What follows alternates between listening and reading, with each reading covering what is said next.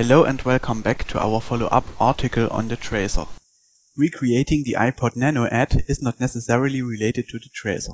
But you know what? At least it produces light streaks and that is what the tracer does anyway. So allow me to give you my take on how to approach the problem. Having the MoGraph module and thus the tracer is by no means a prerequisite. You should be able to achieve similar results without it. The first thing we need is at least a simple representation of the iPod Nano itself. It so happens that I bought the 8GB model just one week after release. I've been waiting for this quite a while as I have a rather large music collection but didn't want to buy one of the hard drive based versions. If you don't own an iPod, you can find the exact measurements on the Apple website. Of course I've gone through the process of modeling an iPod already so I'm using my existing dummy as a reference. The first thing we do is to create a cube shape that encompasses our dummy. You don't need to flip any switches here or add subdivisions. Really, a simple six-sided cube will do. Once your cube primitive is in place, convert it to editable polygons by using the C key. This now allows us to select edges. Switch to edge selection mode and pick out the four corners of the cube. When you have done so, find the bevel tool in the structure menu. Bevel is a generic command that works on polygons, edges and even points, based on what type you have selected.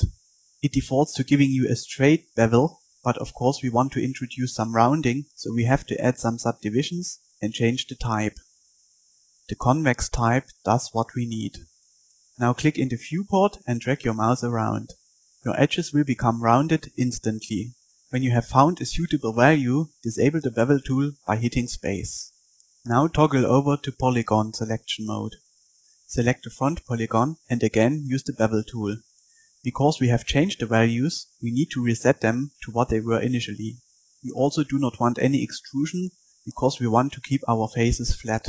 When the bevel is done, disable the tool again and now choose your standard transformation tools like scale and move adjust your polygon, which is still selected, until it represents the little LCD screen in the iPod. To give the screen a different material, we need to save the selection. So from the selection menu, choose set selection and the selection tag will automatically be added.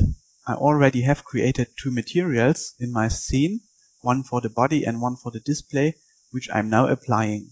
Take the display material and drag it onto the cube and make sure that by inputting the name of your selection, you limit its influence to that selection. Then take the body material and also apply it to the cube. With this, we have successfully modeled us a little iPod Nano.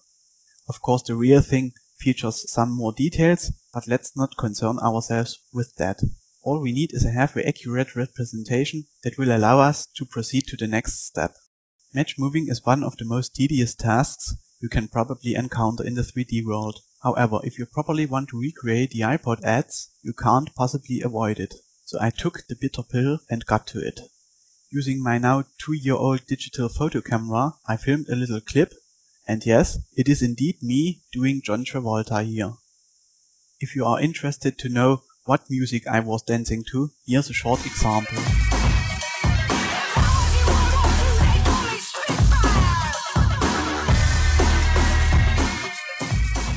It's Spitfire from The Prodigy. Ever since I have been doing some shopping and upgraded my equipment with an HDV camera, but since I didn't want to go through all the steps again, I settled with my old clip, so please forgive the poor quality. I took the clip and adjusted it so the mood is more representative of the one in the original Apple ads. I have reduced contrast and made everything rather dark. The only thing that stands out is the LCD display, which is backlit. So how do we set it up? Because I didn't have any of those match moving tools handy, I tried to match everything manually. Of course, if you have programs such as SynthEyes, Match Mover or Boujou, it's going to be a lot easier to get at least the camera in the right place. It's no big deal though. I know my kitchen wall I was shooting in front of, and even if you are doing a professional shoot to recreate the setting for one of your clients, it shouldn't be too much trouble to place some markers and take some measurements on location. When you have that, it's not that difficult to recreate the entire scene in your 3D program. I used a distinct corner to line up my wall. Once you have moved your camera into the right position, I suggest you create a keyframe at frame 0 for it. This is a fallback measure just in case you are moving your camera by panning in the viewport. With a keyframe in place, it will always jump back to its original position. After that comes the hard part. You need to scrub through your timeline and look where your original iPod is in relation to the camera in each frame. As I already said, this is potentially very tedious and boring. So take a deep breath, drink a nice cup of coffee and keep your cool. The dummy we created earlier now needs to be rotated and moved into place. It may not always be perfectly clear where it actually is due to the motion blur, but don't worry. It is sufficient if you don't screw up the positions entirely and it looks okay. Because you are mainly working in the camera view, from time to time you should also check the other views. This is important if you don't want to kill off the illusion of depth entirely. It doesn't hurt if you have a nicely shaped path in 3D space. With the match moving done, we can now at least use the tracer a tiny bit.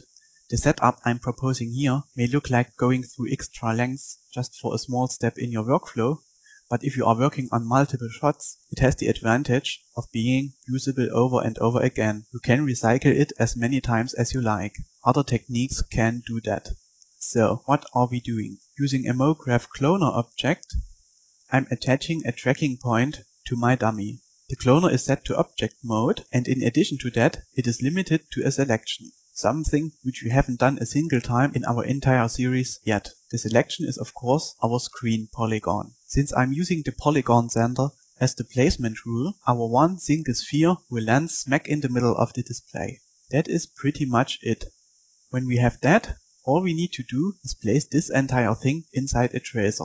Now our tracer will create a nicely curved path for us. By using Bezier or B-spline interpolation, you can also immediately smooth out your motion, which may be rather jaggy after the match moving process. Now activate the sweep NURBS again and we have some instant light bands. For the steps that are to follow, it is beneficial if you convert your tracer object to a real spline. This has the advantage that you will be able to control the behavior of your sweep NURBS objects much better and you can also use your splines in a variety of ways. The downside of course is that you now need to hand animate the end growth of your sweep NURBS object again. Once you are happy with the growth animation, you can refine your sweep object by adding some twist. This can be easily done using the spline rotation control. The gray block you can see is a little help for later on. Because our light bands expand in 3D space, that means that they may get behind a person or another object. The plane you see represents an area of my body that is inside the light bands.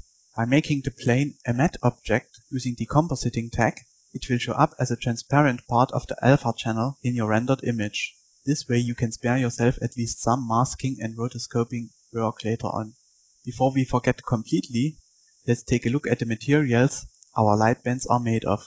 There's nothing special to them, they are just simple luminous materials with some noise on the transparency channel. The only major difference is that we have set the texture space of the noise to UV. This will give us an opportunity to stretch out the noise across our entire band. I've also maxed out the contrast setting, so I'm getting sharp edges on my holes. The rest is real simple. You just need to balance out the color with the luminance until it looks nice enough.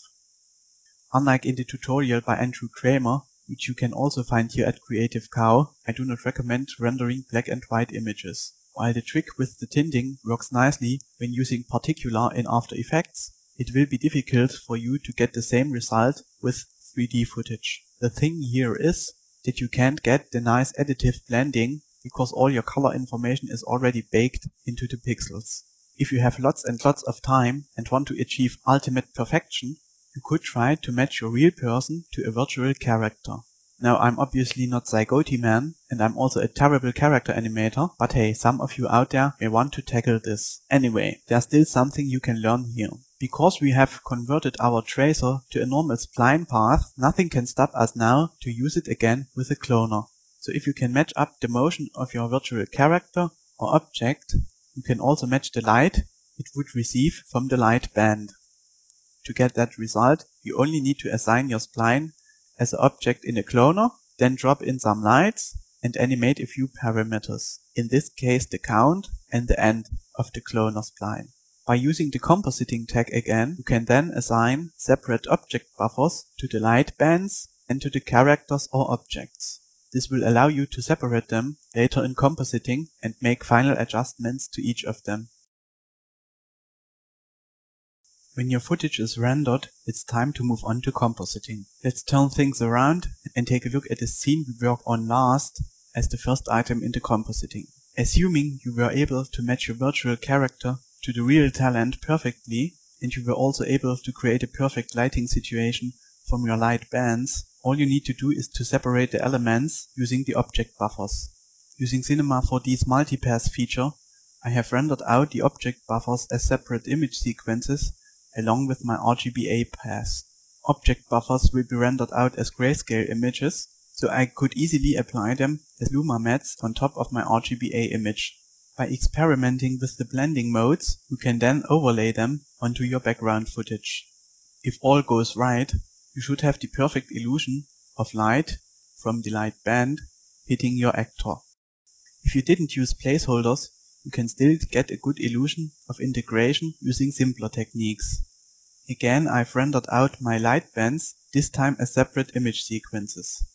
I've duplicated the rendered sequence in the timeline and I'm masking it with the original filmed footage. In a perfect scenario, you would of course have green screen or blue screen footage that is perfectly lit, but with my limited options, I had to settle for a dirty trick.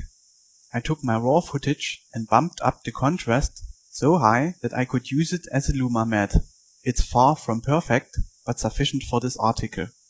To give my setup some perspective, I took my duplicate and moved it around a little. As you can see, I also applied some pretty heavy blur to it. Under the right circumstances and properly executed, this should give you a more than satisfying illusion. In addition to the techniques previously described, on my yellow light band I used some masks to cut out offending areas and maintain the illusion of obscuration, and I also applied a slight glow to the light band itself. I hope you could learn something and got some ideas that you can put to good use in your own work. I'm also sure you got some giggles when seeing me move in front of the camera. I hope you will be back for the next article when we again deal with music, but this time without the dancing. Until then, bye bye.